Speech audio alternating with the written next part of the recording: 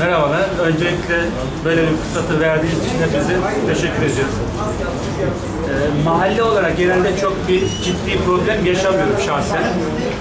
Park konusu sürekli gündeme getiriliyor. Ben uzun yıllar İstanbul'da yaşamış birisi olarak bu mahalledeki yeşil alan kadar yani başka bir yerde böyle geniş parklar ve oldukça fazla. İki, üç binadan ilerlediğinde, iki üç site ilerlediğinde bir parkla karşılaşıyoruz. Ha belki insanlar daha geniş, ne bileyim, şu şeyde var, Pınarbaşı diyor. O tarz bir yer mi söylüyorlar? Onu öyle bir şey mi kastettiler, onu bilmiyorum. Ama park konusunda oldukça yeterli olduğunu düşünüyorum. Ulaşım konusu gündeme getiriliyor. Şehir içi dolmuşların durak aralıkları çok sık. Benim gördüğüm en büyük sıkıntılardan birisi. Aydın'dan Aydın'a geleli 5 yıl falan oldu. İlk zamanlar arabam yoktu. Dolmuşla ulaşım sağlıyordum.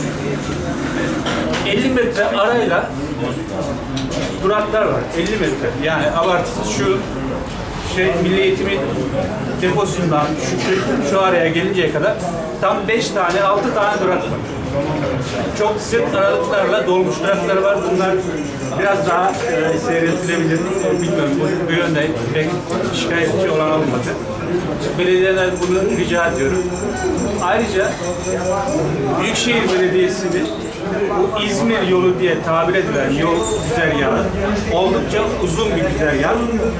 Ee, birinci olarak bu güzergahta çok sık aralıklarla kavşaklar var. Neredeyse 5-600 metrede hatta bir- en fazla 1 kilometre gitmeden bir ışıklı kavşakla karşılaşıyoruz. Bu gerçi belediyenin alanında mı yoksa karayollarının görev alanında bilmiyorum ama bu kavşakların sayısı biraz azaltılabilir. Ee, bu kavşakların sayısı azaltılırsa o çevre yoldaki trafiğin de rahatlayacağını düşünüyorum. Yine aynı yol güzergahında Büyükşehir Belediyesi'nin yapması e, gereken önemli bir hizmet bence. E, şöyle olmalı. Uzun bir güzergah. Bir daha buradan işte ne bileyim e, Germencik'ten tutup şeye kadar e, en azından köşke kadar bir belediye otobüsü e, belediye otobüsü konulabilir ve bu güzergahta birçok insan bu belediye otobüslerinden faydalanabilir diye düşünüyorum. Bu konuda bir çalışmaları var mı yok mu merak ediyorum. Böyle bir çalışma yaparlarsa olumlu olacağını düşünüyorum. Yine su faturalarını söylediler.